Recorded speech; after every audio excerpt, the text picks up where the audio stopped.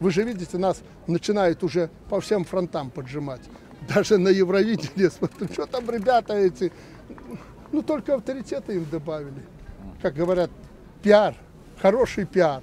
Э, ну, если что, так э, песню мы сделаем другую, не вопрос.